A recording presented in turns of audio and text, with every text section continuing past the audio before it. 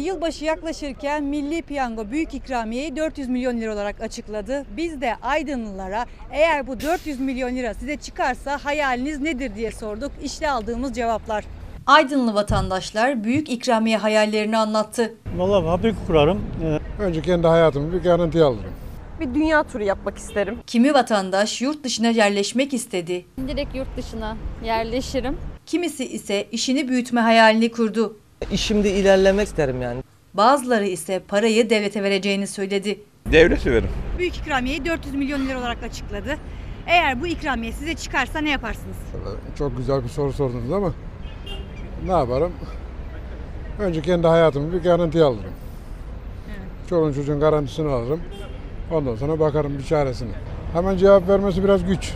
Eşin dostun elinden tutarsın. Fakir fukarayı gözetlersin. Bu olur. Eğer bu ikramiye size çıkarsa hayaliniz nedir? Ne yaparsınız? Bilmiyorum. Herhangi bir hayaliniz yok mu? Çok büyük bir miktardan bahsediyoruz para olarak. Çocuklara harcarım herhalde. Yapacak başka bir şey yok. Teşekkür vallahi fabrika kurarım. Ee, şu anda millet e, yani biliyorsun işsiz güçsüz. Yani üretim yaparım. Yani üretim dayalı da, e, yatırım yaparım yani. Yani ne bileyim şu anda hiç düşünemedim bir anda.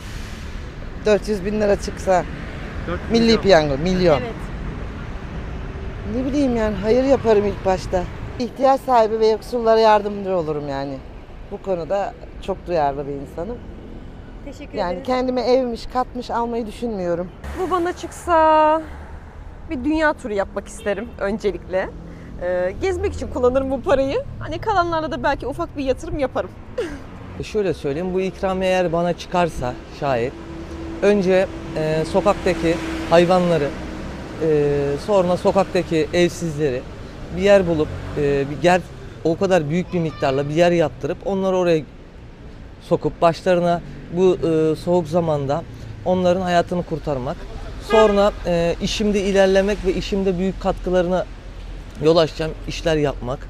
Aydın dışına çıkıp e, hem elektrikçiler odasını hem e, kendimi büyük çaplı işlerle çalışmak isterim yani. 400 milyarlar biliyorsunuz bunlar çok büyük paralar.